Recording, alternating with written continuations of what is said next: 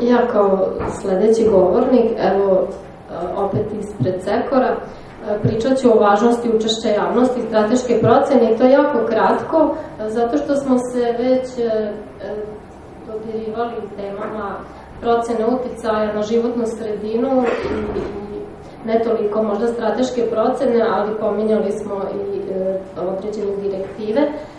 E, zašto je nama ovo važno? Zašto smo sada ponovo se vratili na učešće javnosti? E, pogledali smo ovaj dokument koji je gospodin Peter Vajde pomenuo, e, vodič za izradu NERP-ova. Mi smo naravno kao zainteresovana javnost jako zainteresovani da vidimo kako će proces pisanja takvog jednog dokumenta izgledati. U tom, nažalost, dokumentu nismo ništa videli o nekim smernicama kako da se javnost uključi u to.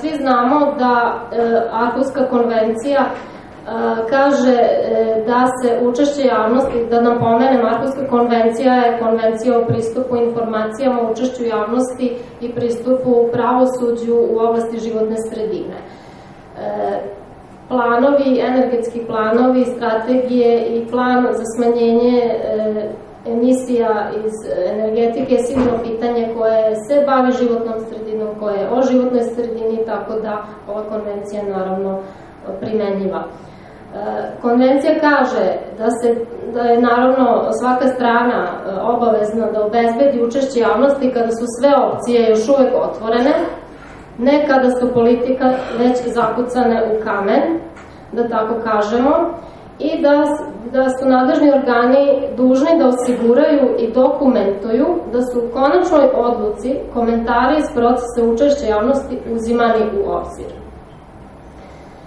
E, mi sada e, vidimo, e, pominjali smo ovo 11. zasedanje Ministarskog saveta energetske zajednice i odluke ovog Ministarskog saveta koje su nam fundamentalno sada bitne.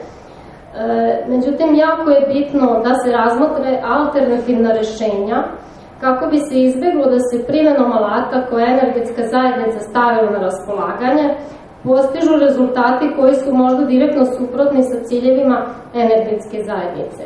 E, naravno da je ovo potrebno i kako bi se izbjelo konkurent, konkurentsko zaostajanje srpske ekonomije usled povećanih troškova proizvodnje energije, e, a mi e, znamo da, su, da postoji više načina za smanjenje emisija.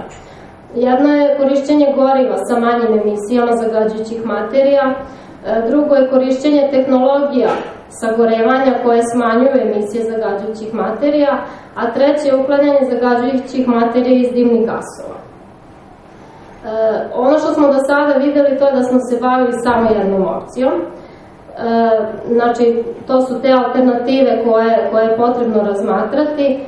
E, moje, moje samo sada e, pitanje e, kao i za dalju diskusiju i za sve prisutne ovde, gospodina Vajda i predstavnika E, znači relevantnih e, aktera, e, ko je kada i u kom procesu i kakvom vrstom odluke odlučio da će se pristupiti izradi NERPA u Srbiji i to NERPA u smislu znači odluke ministarskog saveta i same direktive. E, znači i kako, u kojoj fazi je ta izrada NERPA sad u toku, jer mogli smo da vidimo da su angažovani kroz plak projekat e, neki konsultanti i kada je zamišljeno da se uopšte E, uključi javnost, a takođe i da napomenemo da je svakako jedan ovakav plan podložan izradi strateške procene uticaja na životnu sredinu koja ima svoju sobstvenu proceduru e, učešća javnosti i shodno zakonu o strateškoj proceni uticaja. E, samo toliko.